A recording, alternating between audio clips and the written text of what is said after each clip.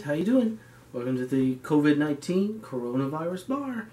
All right, uh, we're going to be doing a drink of the day today, uh, the uh, Bahama Mama. Everybody loves those, right? Uh, just looking through the news real quick. EPB, today is the 21st, Tuesday the 21st. Um, looks like EPB expects to restore power to nearly all customers by later today according to all the uh, uh, the damage uh, from the hurricane. Looks like uh, about 1,400 workers were deployed to uh, to restore that area. Of course, power isn't restored to all of those uh, houses because, well, quite frankly, most of the houses have been leveled in that area that you know, there's nothing there. So let's look on a brighter side. Well, that is a bright side that they're restoring power.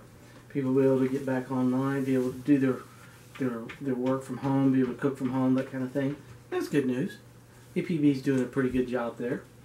Okay, so the Bahama Mama, all right, which is uh, one of those drinks we drink on vacation. You know, you go on a cruise, or you go to Florida, you go to some crazy place where they do stuff like uh, like the line dances and the disc jockey is, is being real loud. So uh, we're going to use a shaker full of ice. Looks like we've got um, half a, a of uh, part lime juice, two parts orange juice, one part pineapple juice. Uh, we've got coconut rum, half part of that, and one part dark rum.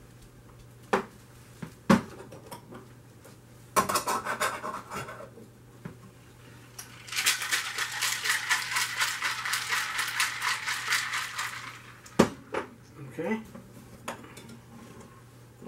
I'm going to throw in a splash of grenadine.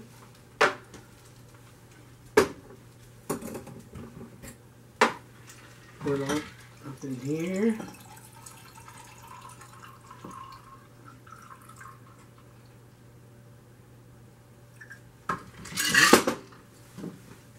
Then take a cherry.